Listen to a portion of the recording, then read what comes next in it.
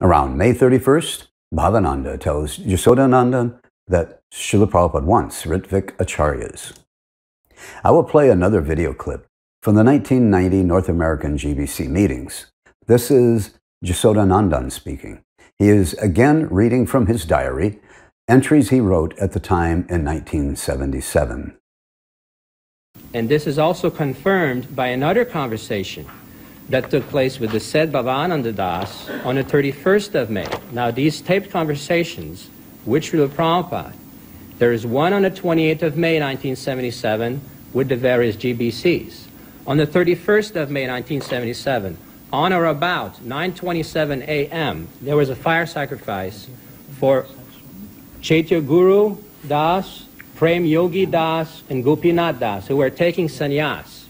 And also numerous Gurukul children had been recommended to Srila Prabhupada to become his disciples because we felt that his departure was imminent and we had arranged to discuss with Tamal, to discuss with Tamal Krishna Maharaj to get these initiations done. At that time, I did the fire sacrifice. Prior to the fire sacrifice, the following conversation took place. YNS. I asked them, what's happening? He replied, this is with Bhavananda Das. Things are being discussed among the GBCs. Prabhupada said that there is a conspiracy among some of the Goswamis in Vrindavan to try to take over Mayapur in Vrindavan. I can't wait. This is exciting. I really like to get involved in this. I like power. YNS. I'll stick to the Gurukul.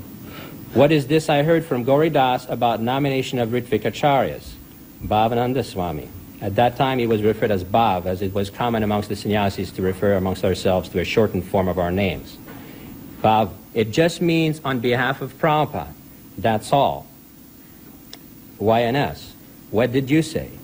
There was another comment. He says, I can't wait till we start to do this. I took this as a reference that the movement was going to expand we were going to preach. Whatever is the interpretation of that comment from Bhavananda Das, he may be free to explain. YNS, what did you say?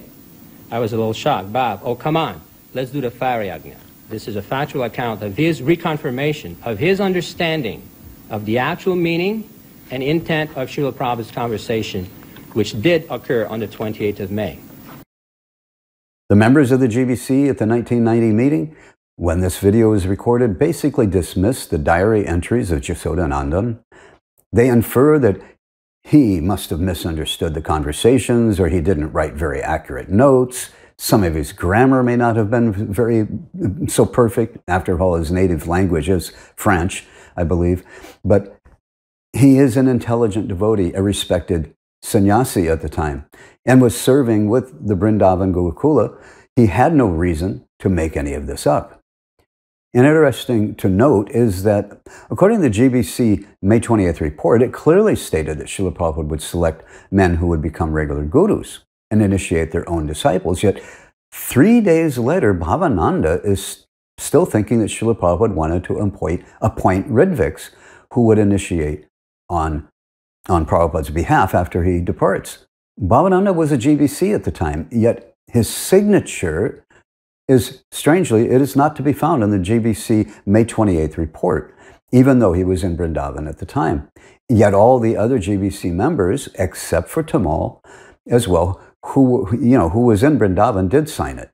Maybe Bhavananda was also busy with other matters and hadn't read the report yet. Or maybe there was some disagreement amongst some of the GBC to just what Srila Prabhupada really said and wanted, and they hadn't come to a final conclusion at that time yet. I mean, we don't really know. I'm just speculating from what Yasodanandan's diary mentions and what, you know, the other facts we know.